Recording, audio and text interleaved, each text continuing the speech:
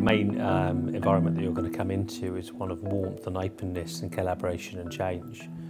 Um, you, you'll get access to a wide range of executives who are running regional and global organisations in different industries, in different functional areas.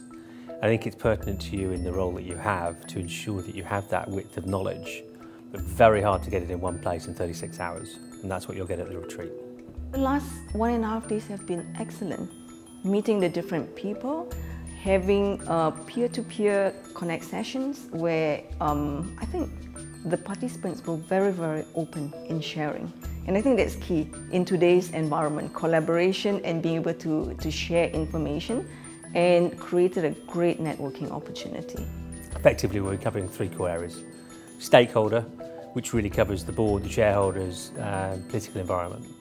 Um, strategy, which is the blue, blue sky strategy and the execution of strategy. And then leadership, and that transition as you evolve as a leader. And those are the themes that resonate through Criticaleye all the time, and that's the emphasis that you'll see at the retreat. The leadership retreat in Singapore is going to engage our board mentors who have um, extensive experience of operating across the whole region. We also have our partners who can contribute and invariably bring a different dimension to the dialogues. And last but not least, we have the rich diverse group of attendees who are across all different sectors and disciplines. The biggest asset that I see in an event like Criticaleye is the fact that you're gathering a lot of different leaders from different industries, different parts of the world, uh, and generate a forum which, which I think is very interesting.